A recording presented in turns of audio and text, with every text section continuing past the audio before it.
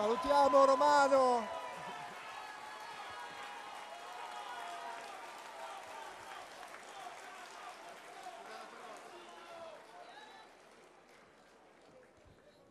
E ora la parola al nostro candidato sindaco Virginio Merola.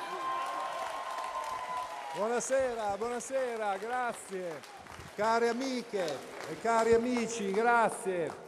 Grazie care compagne e cari compagni, è una bellissima serata. È arrivato anche Romano Prodi, cosa potevo volere di più? Grazie. Vedo persone tra voi che ho già incontrato in questa lunga campagna elettorale che è cominciata a novembre, come sapete, ma siete tanti di più questa sera siete una piazza bellissima.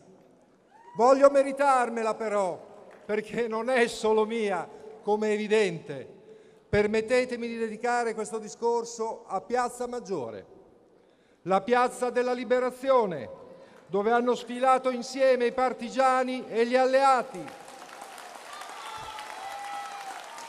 La piazza delle grandi manifestazioni del lavoro, dove generazioni di giovani continuano ad incontrarsi, dove si sono svolti concerti straordinari, dove ci siamo tutti riuniti attorno alle vittime delle stragi. La piazza di San Petronio, una piazza democratica e felice dove suonano gli artisti di strada, Piazza Maggiore, la piazza di tutti i bolognesi, di tutti i bolognesi. E poi qui penso a David, il bimbo morto a gennaio, in questa piazza. E mi chiedo come mai nessuno chiede più di lui, come mai questa amnesia, come mai questo vuoto di memoria recente, dov'è la Bologna generosa, vera e forte che conosciamo, la Bologna che fa notizia per la sua indomabile democrazia e solidarietà, dov'è finita? Perché questa Bologna è diventata quasi invisibile? E invece c'è, per vederla bisogna avere il coraggio di guardare fisso negli occhi la Bologna di oggi, anche nelle sue fragilità. Io ho conosciuto la Bologna che non si racconta, che non fa notizia, che non fa lobby, che non fa gossip, che vive senza spiegare agli altri come si deve vivere. Ho ascoltato in questi mesi le voci che sembrano inutili, quelle che aprono squarci sulla realtà come è, non come vorremmo rappresentarla. E in questi mesi mi sono riempito gli occhi di una città generosa e coraggiosa che non vuole, che non vuole schivare la realtà, che vuole continuare a sognare.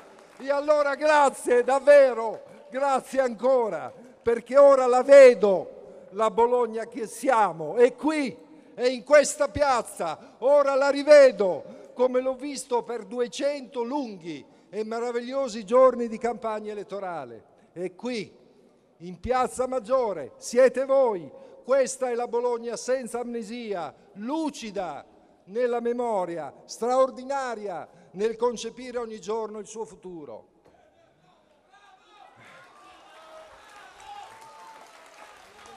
Ho scelto, ho scelto, come sapete, di iniziare il mio viaggio elettorale dal Pilastro, il quartiere del riscatto, caro Calderoli, dove oggi il 60% delle case è in proprietà e generazioni di uomini e di donne sono diventati bolognesi, dove oggi giovani nati qui e figli di migranti studiano e lavorano insieme e in posti come il Pilastro che ogni giorno Bologna fonda su basi solide la promessa della cittadinanza.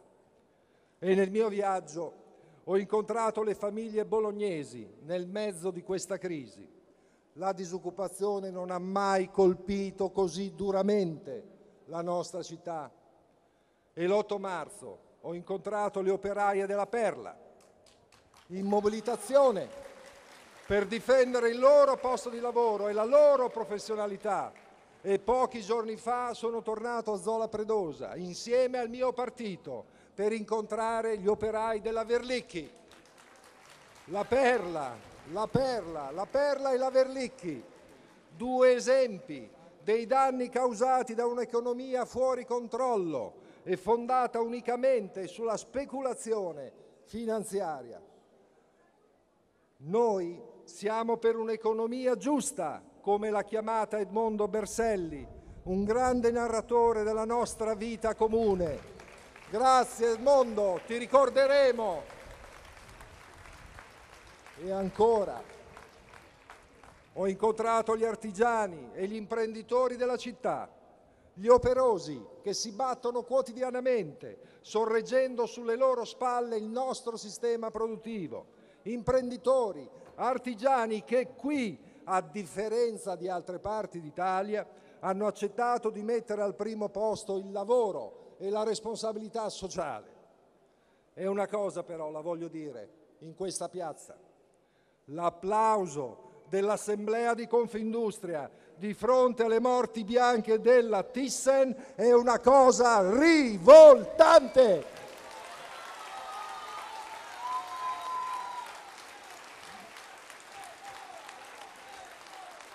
E, e in questi mesi ho riscoperto la città degli ultimi, le persone senza casa, che dormivano per terra in via Capo di Lucca e ho parlato con i penultimi, quelli che lavorano per quattro e sono due, quelli che pagano un mutuo e che rivendicano per i loro bimbi il diritto ad un nido pubblico. Vedete, alla fine di questo viaggio ho una convinzione. In questi anni siamo rimasti come sospesi tra la nostalgia del nostro grande passato e la delusione per questo presente, quasi come bloccati da una politica che da ogni lato, da ogni latitudine ha preso molto di più di quello che ha dato. Il viaggio di questa campagna elettorale, dalle primarie a questo bellissimo palco e a questa bellissima piazza, ha dimostrato a tutti noi quanto sia necessario per i cittadini tornare a fare politica in prima persona, alleandoci con la città, non con il ceto politico, alleandoci con i cittadini. La buona politica, quella che ha il coraggio di navigare in mare aperto, che decide di mollare gli ormeggi, che smette di vivere di rendita.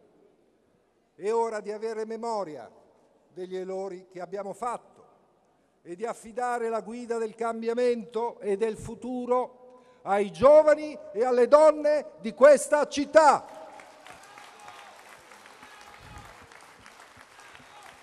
E la mia giunta sarà un equipaggio fantastico di giovani e di donne capaci e appassionati di Bologna, senza raccomandati. Molti di noi, molti di noi sanno, e lo sanno con l'intelligenza del cuore, che dobbiamo essere all'altezza delle passate generazioni, dei valori e degli ideali che ci hanno trasmesso. Tocca a noi, a noi fare cose altrettanto belle per il nostro futuro. Essere all'altezza della statura di questa città è il nostro compito collettivo e ce la faremo perché lo faremo insieme. Vinciamo Bologna e andiamo in direzione ostinata e contraria a questa destra populista e autoritaria, incapace di governare per il bene dell'Italia e di tenere uniti gli italiani. Vinciamo Bologna e lottiamo contro la precarietà del lavoro per dare ai giovani la certezza di una vita degna. Vinciamo a Bologna per dire stop al consumo di suolo e alla devastazione del paesaggio nelle città italiane. trasformeremo le periferie in nuovi centri urbani puliti e attraenti e realizzeremo a Bologna una grande pedonalizzazione nel nostro centro storico. Ma soprattutto, ma soprattutto io mi impegno qui davanti a voi ad amministrare con disciplina e onore come vuole la nostra Costituzione.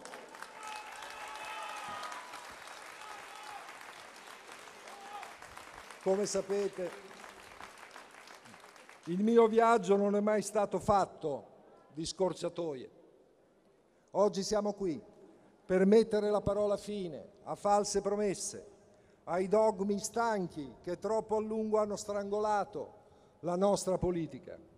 È arrivato il momento di mettere da parte il passato che non ci piace, di affermare il nostro spirito più tenace, di scegliere la strada migliore, di portare avanti quel dono prezioso, l'idea nobile di Romano Prodi che è alla base fondativa del Partito Democratico.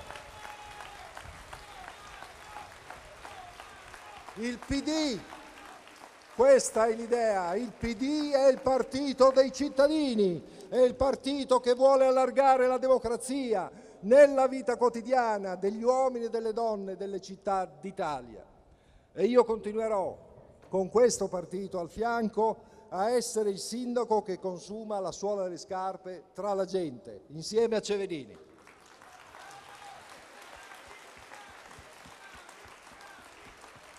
Cari amici, cari compagni, ma per fare bene la nostra parte nessuno, nessuno deve stare a guardare o votare solo perché è indignato, giustamente, da questa destra. Non basta più indignarsi, non basta più essere contro. Lo dico in particolare ai giovani del Movimento 5 Stelle. Chi non si unisce agli altri contro questa destra autoritaria e razzista fa lo sbaglio dell'avaro. Avaro, perché avaro è chi pensa di risolvere i problemi da solo, mentre la buona politica è risolvere i problemi insieme agli altri. Ed è anche giovani del Movimento 5 Stelle, la vostra, un'avarizia miope, perché dove governa la destra non si può dire no al nucleare e sì all'acqua pubblica, come invece potete fare con noi, e non si possono difendere i diritti civili, i diritti sociali, i più deboli. Dunque, care democratiche e cari democratici, noi sappiamo che Bologna è una città coraggiosa, giusta, generosa, che non è la villa di Arcore e che non sarà una città razzista. In queste ultime ore parliamo agli sfiduciati e ai delusi, diciamo che qui c'è un'Italia migliore, diciamogli di salire sul palco della loro vita di aprire le finestre e a piena voce gridare non siamo in vendita, Bologna non è in vendita, l'Italia non è in vendita.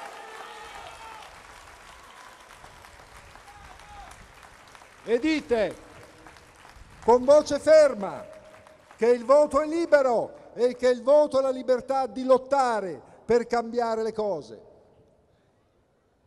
Quindi noi andremo a votare e andremo a votare perché siamo di sana e robusta Costituzione e andremo a votare per un nuovo inizio di Bologna. Avanti, avanti insieme, avanti per Bologna e per l'Italia. Grazie.